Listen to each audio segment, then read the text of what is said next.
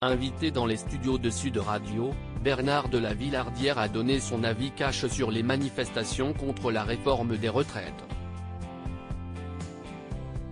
Bernard de la Villardière ne va pas se faire que des amis. Alors qu'en 2018, l'animateur de M6 révélait souffrir d'un cancer sur lequel il était resté assez discret jusqu'à en donner des nouvelles en 2022, le journaliste reste quelqu'un d'optimiste.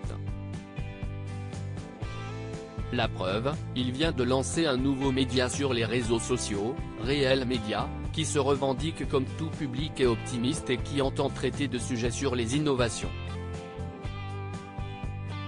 Ce dimanche 19 mars dans l'émission CIST Excellent présentée par Judith Belair sur Sud Radio, il était venu parler de ce nouveau projet et en a profité pour donner son avis tranché sur la réforme des retraites.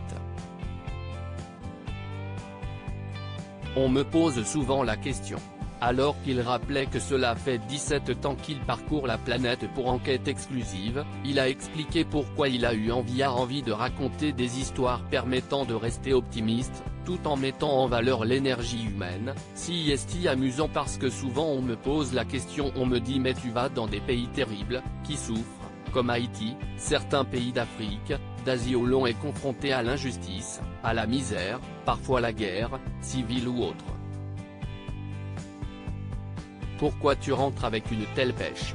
Eh bien si est parce que dans ces destinations-là, et dans ces milieux-là très compliqués, difficiles, je trouve des gens qui ont une énergie, un courage, un optimisme et une volonté d'aider les autres, de malgré tout privilégier la vie et de se battre, a-t-il introduit.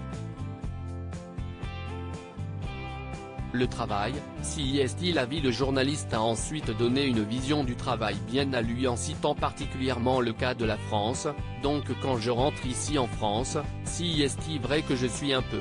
Parce que quand je vois qu'on manifeste contre la réforme des retraites et que les gens pleurnichent parce qu'ils vont bosser deux ans de plus, ça me désespère un peu. Parce qu'il y a tellement de choses à faire aujourd'hui dans le monde. Vous savez un chiffre? Le Bureau international du travail dit que la moyenne de temps travaillé par semaine dans le monde, si est 60 heures. Nous, on est à 35, on est très très loin. Et puis le travail si est-il la vie, si est-il l'émancipation, si est-il la relation aux autres, si est-il la créativité. Si est-il formidable. Hashtag Sud Radio, hashtag Cestexcel, microphone, arrobase Judy-Babeller, étincelle, ça me désespère que les gens pleurnichent car ils vont travailler deux ans de plus. Le travail si est-il la vie, silhouette qui parle, arrobase Bidiel Villardière, journaliste et producteur dièse reformé des retraites https oblique barre oblique coes6gbonexupic.twitter.com slash L9 luxkiwmk1, Sud Radio Sud Radio, March 19, 2023.